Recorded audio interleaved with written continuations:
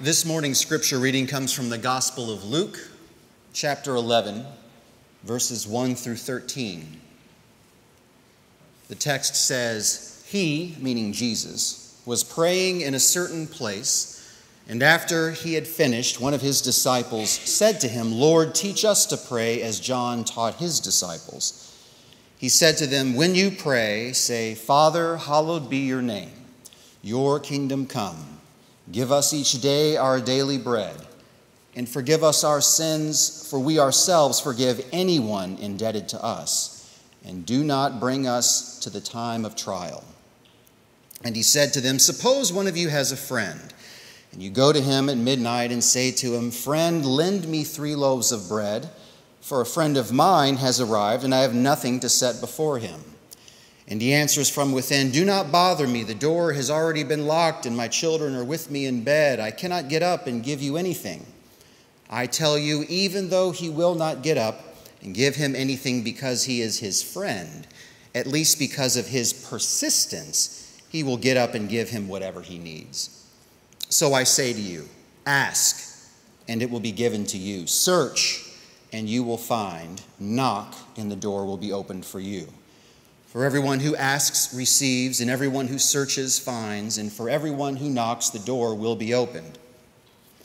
Is there anyone among you who, if your child asks for a fish, will give him a snake instead of a fish? Or if the child asks for an egg, will give him a scorpion? If you then, who are evil, know how to give good gifts to your children, how much more will the Heavenly Father give the Holy Spirit to those who ask Him? This is the word of God for the people of God. Let us now pray.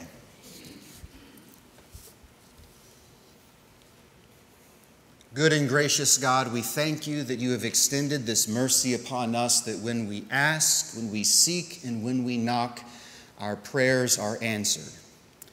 We trust, O oh God, that because you are good and because you are faithful, that we shall have everything that we need day to day, that you shall provide and forgive and protect us, and that in all of our days, when we go in your name, we will go in the same peace and love that you treat us, your children. Oh God, we ask in this time that you would stir your spirit in this place, that we would feel your presence, and by that presence, understand, know, engage, and embody your comfort, your peace, your strength your hope. We ask, O oh God, that our eyes, ears, hearts, and minds be open, that our very hands and our feet be animated to deliver your daily bread to those who are in need. And, O oh God, we ask that you would transform our souls into good and fertile soil for the planting of your word, so that it might grow within us and bear good fruit in time for the kingdom of God. And may the words of my mouth and the meditations of all our hearts be acceptable in thy sight, O Lord, our rock and our redeemer. Amen.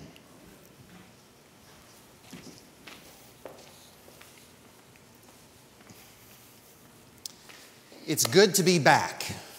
And all week long, I was getting messages from people in this church who said, Who is that guy that you had to come out and preach to us last week? He was really, really good. And uh, so that's my friend Jason Kilby. If you weren't here, you can go online and you can find a video of his sermon.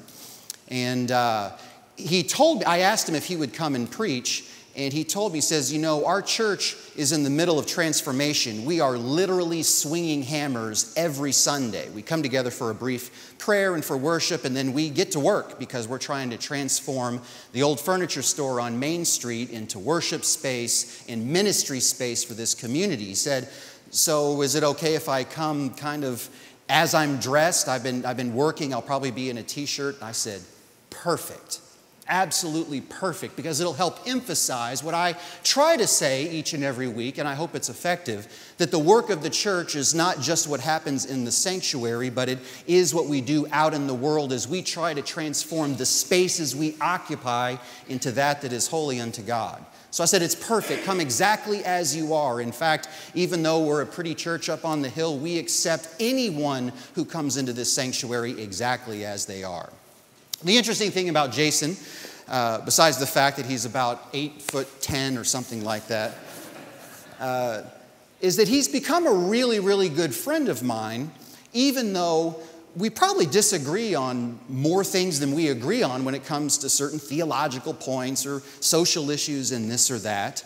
But both of us have the same commitment. We're both committed to the gospel. We're both committed to the idea that pastors need other people to hold them up, that we need to encourage and inspire one another, that we need to help keep each other strong, help keep each other accountable. And in doing that, he's become such a good friend and a benefit to my ministry. And to be honest, we don't even talk about the stuff that we disagree on. We just come and we share time together. We try to work out a few times a week together to tend to our bodies in addition to our minds. And I'm really, really grateful. I, I, I don't, I, I don't want to go on too long about this, but I can't impress enough upon anyone that doesn't know. And because there's very few people in here that have any experience with ministry, you just wouldn't know this. But when you're a minister and you go to a new town, it's really hard to find friends. I mean, I feel like I know everybody, but I can't be friends with everybody. I, have a responsibility to pastor the people in my church. You all are not in a position to become buddies of mine or confidants. So people like that are very few and far between, and they're very, very precious. And that's just not the case for somebody like me who's new in town. It's true for pretty much any pastor. So he's been a blessing to, to me personally, and he's been a blessing to my ministry. And I'm so grateful that he accepted the invitation to come. And I'm so grateful to you that you made him feel welcome while he was here. And I hope to cultivate what him and I have with one another among all of you so that even though there are people in this sanctuary who might not agree on every jot and tittle of things theological or social or political, that we can still recognize that what binds us together is so much more important than those wedges of the division that try to divide us. Amen? All right, well, let's get to the sermon then. So, this text comes from the 11th chapter of the Gospel of Luke, and it comes after a very significant, poignant part of the gospel, which is when we have the parable of the Good Samaritan, and then immediately after, we have the story of Jesus at Mary and Martha's home. And both of those stories try to open up our eyes and open up our hearts of compassion to help us to see things that people normally don't see. So, the first story of the Good Samaritan, he's trying to help a lawyer see that everyone who has the capacity to extend upon to us mercy is our neighbor. And if we want to inherit the kingdom of God, then we must extend compassion beyond the lines that divide us in those superficial ways.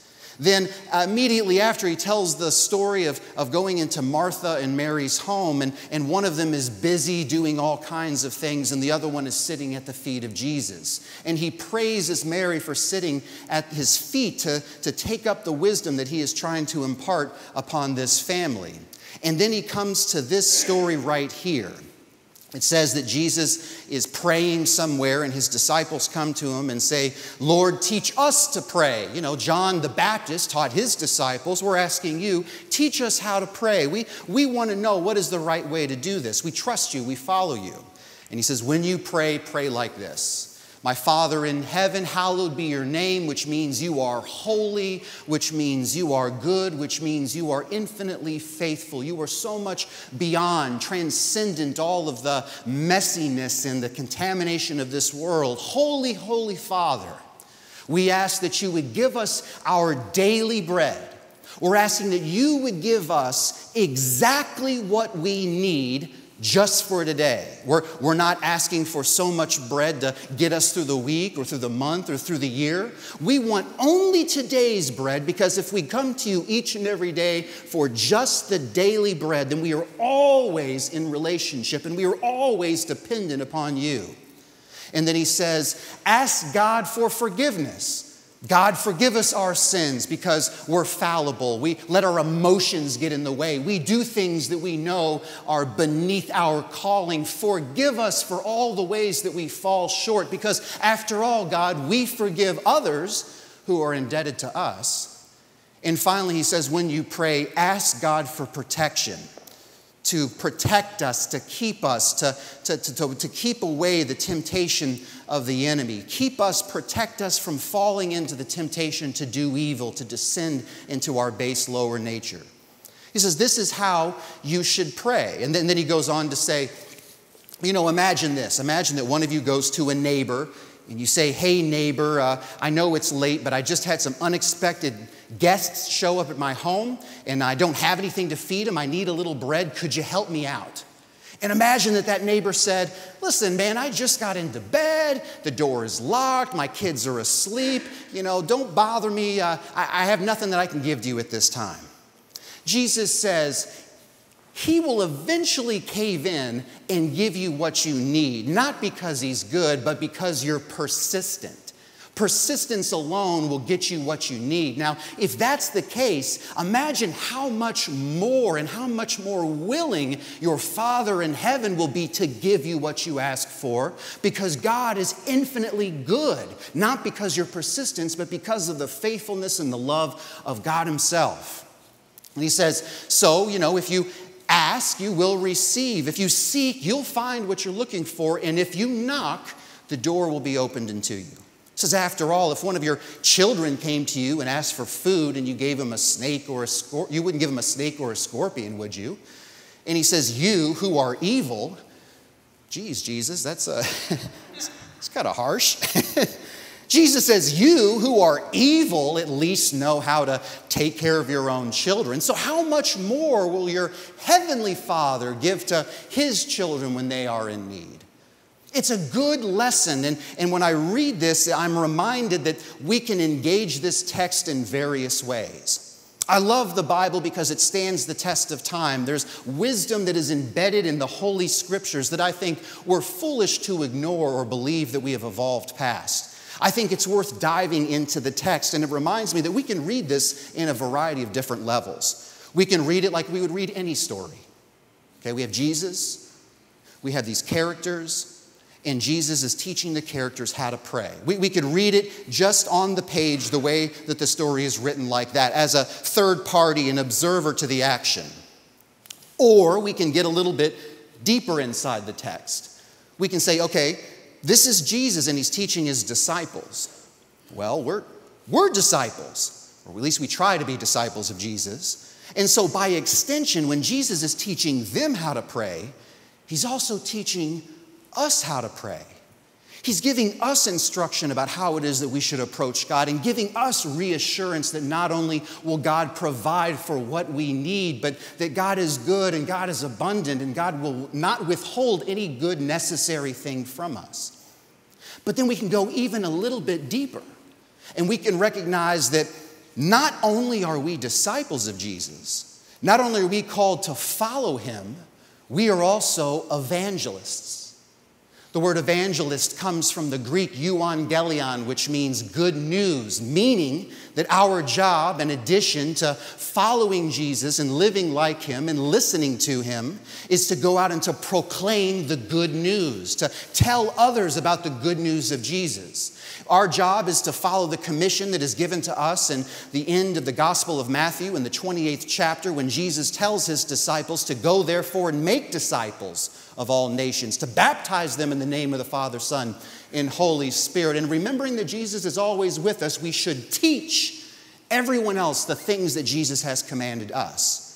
So we have a responsibility to go out into the world. And for anyone else who is looking to the answers for their questions, who is looking for a response to their prayers, our responsibility is to say to them, listen, when you pray, pray like this Ask your God, who is holy in heaven, to give you what you need, to forgive you your sins, to protect you from falling into temptation, knowing that God will not withhold anything from you. And we tell people who don't know this gospel listen, God is good, God is better than us, and God will not withhold anything from us. So if we ask, we will receive. If we seek, we will find. If we knock, the door will be open to us. That is a message that we bring out into the world world.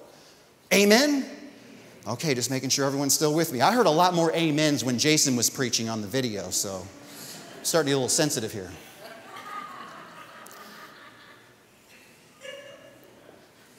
So, this is the message that we bring. And it's important for you to know this that if you take that message, if you tell others the good news that God hears your prayers, And as far as I'm concerned, that's good news because there's a lot of people who stand in need of something. And when we say, unlike any other world, religion, or philosophy in the world, that our God hears us in a very specific way because who God is, and God responds to us in a specific way, not only tending to our spiritual needs, but also our material needs, I believe that's good news. So you must be prepared for the inevitable question that they will ask you when you tell them that. And here's the question How? How exactly is God supposed to do this?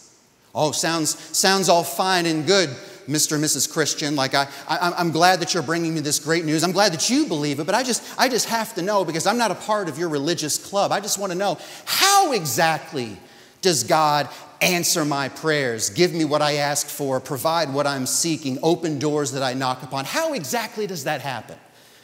And here's the answer it's us. Jesus established in the time that he was here on earth before he ascended into heaven something called the church.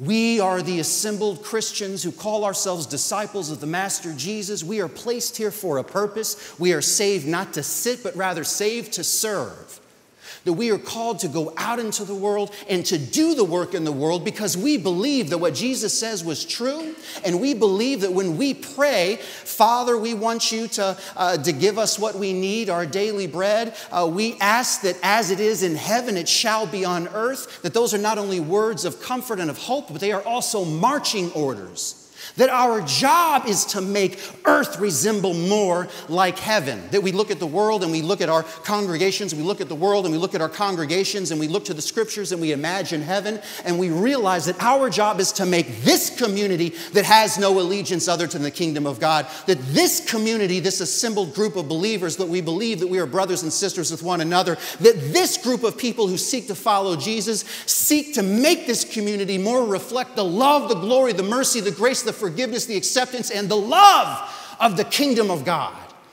And so we are the ones who answer the prayers. We are the ones who provide what people are seeking. We are the ones with our hands on the knob who open the door when people knock. Amen? Now I could end it there. And everyone would clap and applaud because it's the shortest sermon they've ever heard Joey Pusateri preach except for a couple things. And I'll be brief. First of all, I, I can't stop there because I'm passing it up an opportunity to celebrate. You know, you know, I've been here for about two years, which is just long, a little more than two years, just long enough to learn something about the history of this congregation. And I'm so glad to know that I step into the shoes of a long line of pastors and lay leaders who have made a reputation in this community to be the hands and feet of Jesus. I see organizations that persist and exist even today, the Family Services Center in Boyle County, and know that First Christian Church had a direct hand in the founding of that organization. I, I look at our relationship with all of the other churches and organizations in this community, such as the Salvation Army and what we do, the NAACP, the banquet of which we had last night here in this church. Again, I don't know how many years we've been doing it, but longer than I've been in First Christian Church. I see all the ways that we reach out and we try to get involved in the things that are going on. Last year, I said something crazy like, you know, there's a drug epidemic going on, and that's an issue that's near and dear to my heart, so I think we should do something about that. And this church responded by getting involved in ASAP and Hope Network, by uh, helping me host uh, a recovery, uh, an, an addiction and recovery six week series for Wednesday Night Alive two years ago. And then just this year, we had a Recovery Sunday. Year before that, we invited Isaiah House to come come in and to baptize 21 or 22, depending on who you ask, people who walk through that baptismal up there. That when we ask for this congregation to do those things to resemble the kingdom of God, this congregation responds. And I would be remiss if I didn't point that out for our celebration. Just a couple of weeks ago, somebody's home burned in our community, almost lost their lives and lost about every possession they had. That broke my heart. It broke the heart of many here. And so we all came together and we decided that it ain't going to be much, but we're going to do something, that we're going to make a dent in that need because by God, that's what we're called to do. And so we put a list out of what the needs are. And within days, all of those needs were picked up. Within days, we had a room that is filling up with stuff. And within days, that room is going to be full and complete, and we can go deliver the answer to the prayer that they put out there because that's our job. I can't stop that sermon there because I have to say this. And then I also have to say this that that's not the way everyone sees the church. That, that people don't see the church the way that we've been trying to be in the last couple hundred years. And, and, don't get me wrong, I know we're not perfect. I know we've made mistakes. I know we still make mistakes. I know that we have a long way to go to fulfill the call that God has given us. I, I understand that. But I, I think we get more energy when we celebrate what we've done right, and then that parlays into doing the effort of what is left to be done. But I can tell you that I'm 41 years old, and I've spent more than half of my life outside the church. And the reason I spent more of my life outside the church, because I looked at the church and all I could see was the hypocrisy. All I could see was the bigotry. All I could see was the people sitting up on their high horses in the seat of judgment, looking down upon people like me down their noses. And I know that there are a lot of people that have had really bad experiences with the church and they have come to the church in the middle of the night, like that neighbor to the person's door, and knocked, and they heard the voice say, Go away, the doors are locked, I'm already in bed. And that's their experience. And so it's not sufficient for us, and this is the last thing I'm going to say it's not sufficient for us to sit in the pews and wait for the need to come to us. It's not okay, it's not enough for us to wait here on Sunday morning in our sanctuaries with the genuine hope and prayer that somebody's going to show up at that door in need and knock. It's not enough. It's not sufficient. It's not going to work for us just to wait for the need to come to us because of the damage that has been done in the eyes of other people out in our communities. We have to go out and start doing some knocking on doors ourselves. We got to walk up to the door of poverty and say, knock, knock. And they say, try that again. We walk up to the door of poverty and we say, knock, knock. And they say, then we walk up to the door of homelessness and we say, knock, knock. And they say, we walk up to the doors of the hospitals and the treatment centers and the assisted living facilities, the jails and the prisons, places where people are suffering and where they believe that they have been forgotten. And we go up and we knock on the doors. We say, knock, knock. And they say, and we say, We are the ones who have come to bring you what you've been praying for. And they would say, You're the answer to our prayers. And we'd say, Actually, no. You're the answer to our prayers because we pray each and every Sunday that God would make us a church. And that's why we came knocking. Amen.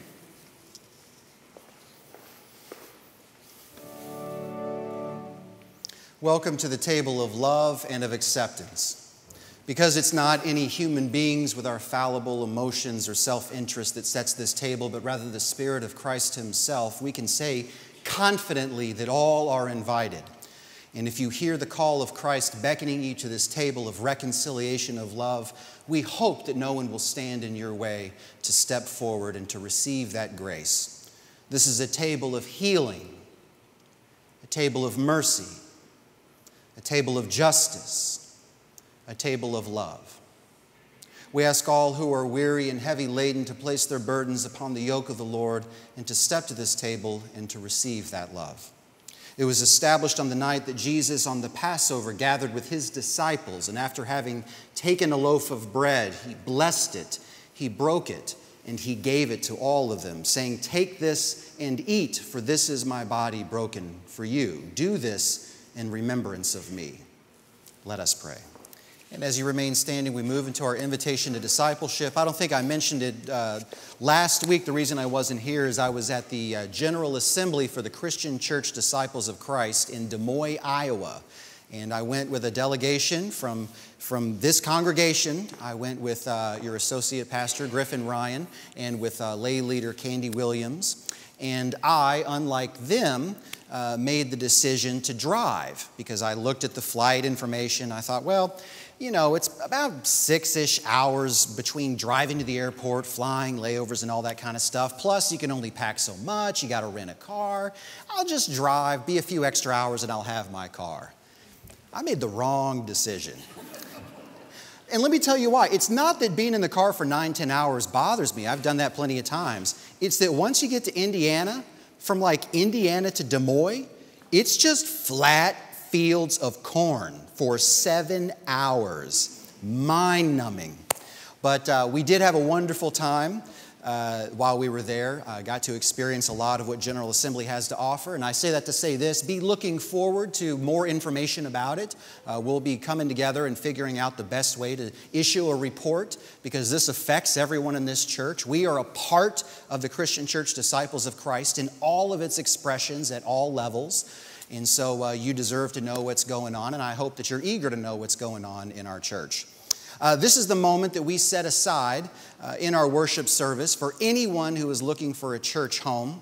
If you are uh, somebody who has uh, never come to Christian faith before and you'd like to make a confession of faith today or intention to be baptized, you can do that now. Or if you want to transfer membership from another congregation, or if you've just never joined a church before and you'd like to make First Christian Church your home, you can do that now. All you have to do is come down and stand with me, and uh, uh, we can discuss that right here. And I can give you a big old hug in front of everybody.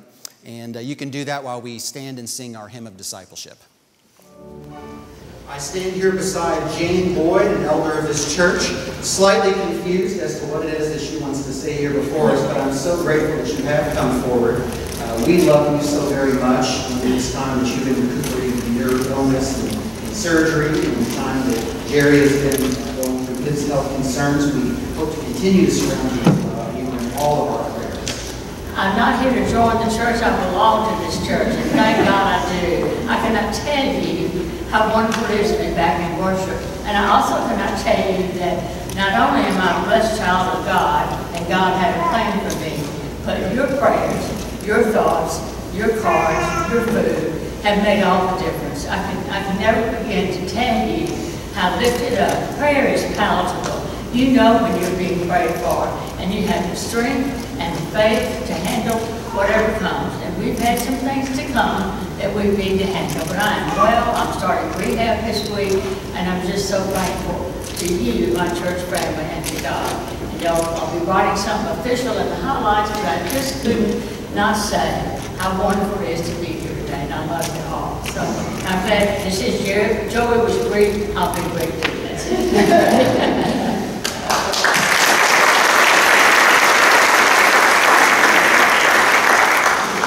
In the spirit of prayer, let us go now and pray over our sister Jane at this time. Gracious and holy God, we thank you for the gift that you have given this church in Jane and Jerry Boyd. We thank you for all of their years of service, but not only that, all of the love, the patience, the mercy, the grace that they pour into each and every moment of service to this church. We know, oh God, that they have prayed for us in our times of need, and it is a joy and a privilege for us to pray for them in their time of need. We ask, oh God, that you would open our eyes, ears, hearts, and our minds, that our hands and feet would be those that deliver the daily bread to this lovely family. And we ask that we do all of these things not for our own glory or aggrandizement, but rather for the glory of the kingdom. We ask all these things in the name Jesus Christ, our Lord, who reigns in your kingdom. Amen. And go in peace.